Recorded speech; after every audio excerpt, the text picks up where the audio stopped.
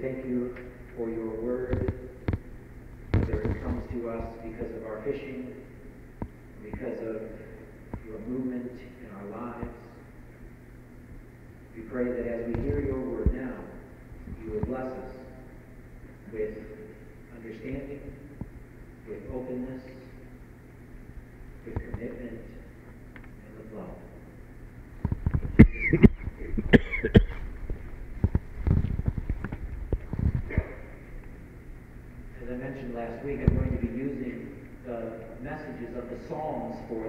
few weeks.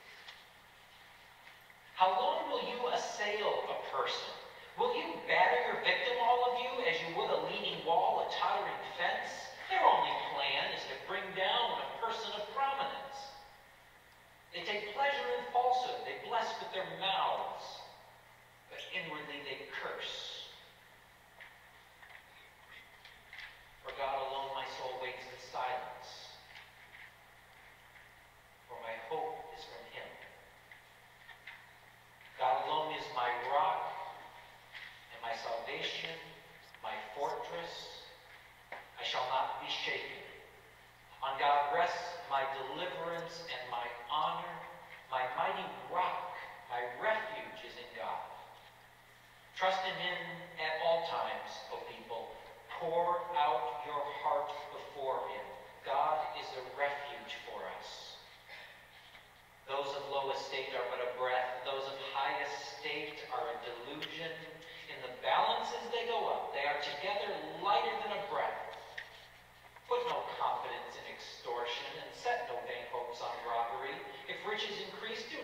your heart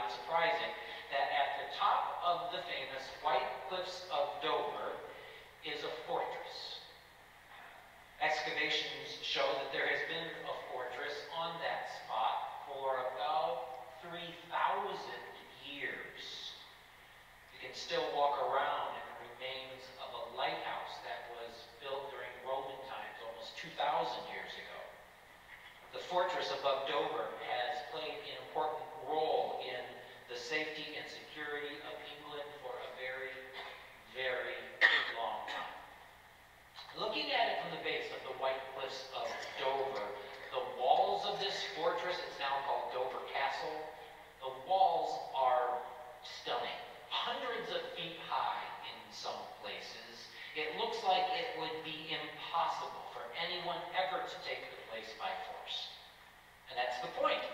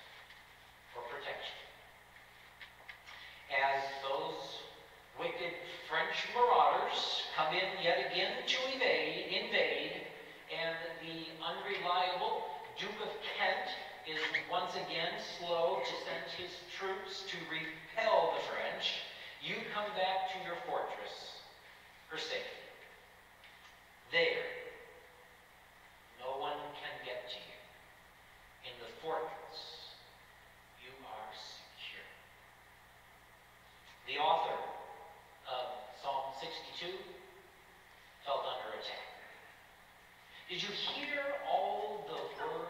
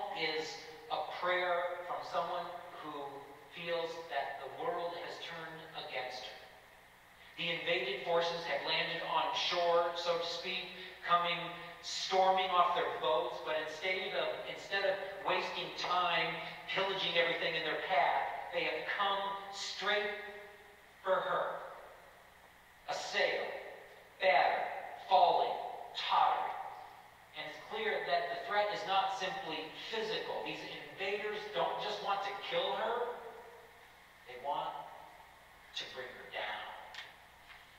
They want to see her suffer the loss of her integrity and her dignity and her good name. And to make it worse, it seems that no one else realizes what is going on as she is attacked. She says of her enemy, they take pleasure in falsehood. They bless with their mouths. They bless with their mouths, but inwardly they curse.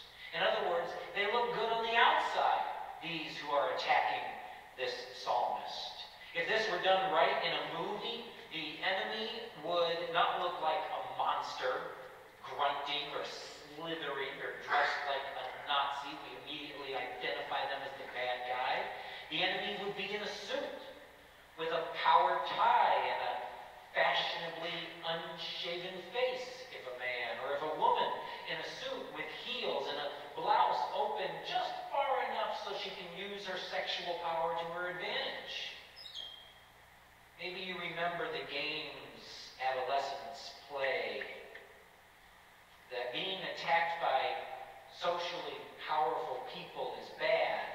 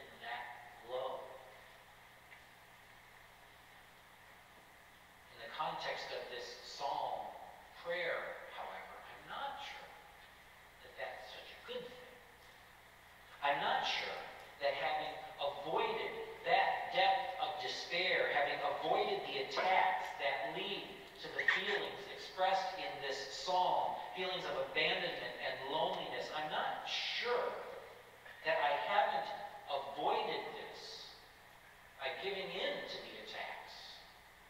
You see, the Psalms don't present us with these kind of laments for just any reason.